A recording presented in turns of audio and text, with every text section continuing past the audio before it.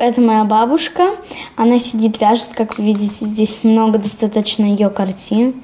А это кот. Его зовут просто кот.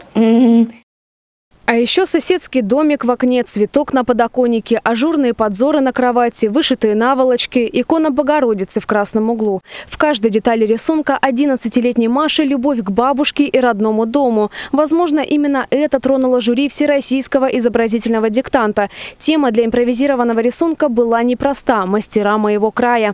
Моя бабушка умеет вышивать из ткани. Э, и она вышивает картины.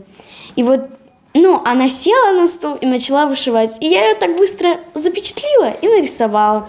Главное условие конкурса – незнакомая тема, ограниченное время, краски и воображение. Маша справилась за три часа. Развивать фотографическую память и художественное восприятие мира девочке помогает ее педагог. Наталья Владимировна в Новоалтайской художественной школе преподает больше 15 лет. Каждый год ее ученики становятся победителями разных конкурсов. Ребятам нравится посещать занятия. Многие приезжают из Барнаула и соседних населенных пунктов. Например, как Маша из Сорочьего Лога. Ее путь к искусству – 31 километр. Четыре раза в неделю после учебы она преодолевает это расстояние, чтобы учиться живописи. Когда вместе будешь писать, немножко списываешь край, чтобы угу. был рефлекс. В изобразительном диктанте участвовал весь класс. Некоторые рисунки также отметили номинациями, а Машина работа прошла финал. Ее вместе с педагогом пригласили на торжественное награждение в Москву. Однако возникла финансовая проблема с оплатой перелета педагогу. Это стало известно депутату Госдумы Александру Прокопьеву. Он посчитал, что учитель и ученик должны вместе разделить радость победы и оплатил перелет.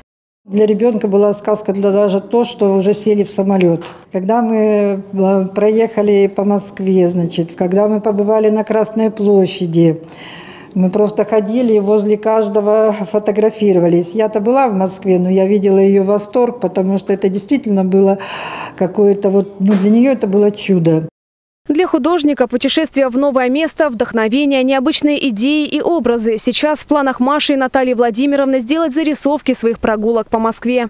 Была дождливая погода, все эти здания, когда они отражаются на площади, это было вообще чудо. Мы наделали много фотографий, есть много планов, что сделать несколько композиций на эту тему. Мария Мацаева, Андрей Печоркин. День с толком.